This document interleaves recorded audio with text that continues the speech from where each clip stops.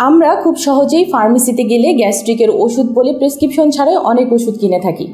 Omeprazole esomeprazole pantoprazole এইসব ওষুধ কম বেশি সবাই আমরা নাম জানি এবং আমাদের বাংলাদেশে প্রায় ঘরে ঘরে গ্যাস্ট্রিকের ওষুধ নামে এই ওষুধগুলো প্রায়ই থেকে থাকে।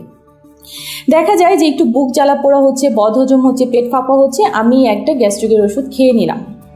কিন্তু এই গ্যাস্ট্রিকের ওষুধটা আসলে খাওয়াটা কি ঠিক? বা যাদের সমস্যা নেই বা যাদের সমস্যা আছে গ্যাস্ট্রিক আলসারে, তাদেরও কি দীর্ঘদিন যাবত এই ওষুধ সেবন করতে পারে? কি হয় এই গ্যাস্ট্রিকের ওষুধ দীর্ঘদিন যাবত খেলে? আসসালামু আলাইকুম, আমি ডক্টর শায়লা হক। আজকে আপনাদের সাথে আলোচনা করব দীর্ঘদিন যাবত গ্যাস্ট্রিকের ওষুধ খাওয়ার ফলে আমাদের শরীরে কি কি ক্ষতি হতে পারে। প্রথমেই আসি যে গ্যাস্ট্রিকের ওষুধ আসলে কি করে। আমাদের শরীরে পাকস্থলিতে যে এসিড এসিএল হাইড্রোক্লোরিক অ্যাসিড যেটা আমরাকে বলি, এটা যে সিক্রেশন হয় সেটা হয় প্রোটন পাম্পের মাধ্যমে। গ্যাস্ট্রিকের ওষুধ খাওয়ার ফলে এই প্রোটন পাম্পের কার্যক্রমটা বাধাপ্রাপ্ত হয়। ফলে দেখা যায় যে এসিডের সিক্রেশনটা কমে যায়, আমরা আরাম বোধ করি।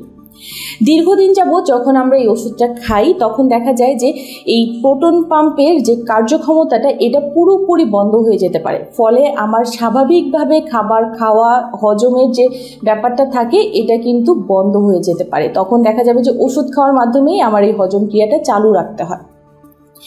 এছাড়া আমরা যেটা বুঝি যে গ্যাস্ট্রিকের সমস্যা মানে হচ্ছে বুক জ্বালা পোড়া হচ্ছে ব্যাধ হজম হচ্ছে, ঢেকুর উঠছে, আমার খুব খারাপ লাগছে, অস্বস্তি হচ্ছে, কেমন কোনো খাবারই আমি খেতে পারছি না।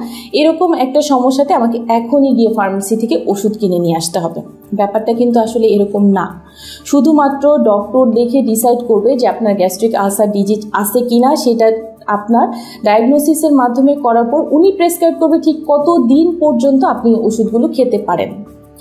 এটার বিভিন্ন ধরনের রোগের উপরে সাধারণত ডিউরেশনটা ডিপেন্ড করে। অনেক সময় ফলো আপের মাধ্যমে ডক্টর কিন্তু পরবর্তীতে ওমিটও করে দেয়। কিন্তু আমরা মানুষরা মনে করি যে, যেহেতু আমার একবার আলসারের সমস্যা হয়ে গেছে, আমার হয়তো একটু এই ধরনের সিমটম হলে এই ওষুধটা কন্টিনিউ করতে হবে। ব্যাপারটা কিন্তু আসলে এরকম না। দীর্ঘদিন যাবৎ গ্যাস্ট্রিকের সমস্যা কমে যাওয়া থেকে কিন্তু আপনার এই ওষুধ সেবনের মাধ্যমে দীর্ঘদিন যাবৎ ওষুধ খাওয়ার পরে আমার অন্য ধরনের সমস্যাগুলোও কিন্তু তৈরি হতে পারে। তার মধ্যে প্রথমেই যে সমস্যাগুলো তৈরি হয় দীর্ঘদিন যাবৎ এই ধরনের ওষুধ সেবনের মাধ্যমে, সেটা হচ্ছে আপনার শরীরের ইমিউনিটি কমে যায়। দ্বিতীয়ত হচ্ছে শরীরে আয়রন ক্যালসিয়াম ভিটামিন ম্যাগনেশিয়াম এগুলোর অভাব দেখা যায়। হাড় ক্ষয় হয় এবং দেখা যায় অল্পতেই হাড় ভেঙে যাওয়ার একটা প্রবণতা থাকে। অনেকের কিডনির সমস্যা দেখা যায়। আবার যেহেতু এটা পাকস্থলিতে প্রভাব ফেলে, এখান থেকে দেখা যায় যে দীর্ঘদিন যাবৎ সেবনের মাধ্যমে অনেকে কিন্তু ক্যান্সারের দিকেও এটা রূপ নিতে পারে।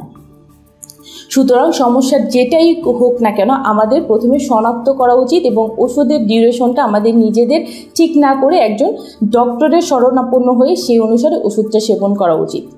কারণ আমি এমন কোনো কিছুই করব না যেটা পরবর্তীকালে আমার শরীরের জন্য অনেক বেশি পরিমাণে ঝুঁকি নিয়ে আসে। আজকে এই পর্যন্তই, আপনারা ভালো থাকবেন, আসসালামু আলাইকুম।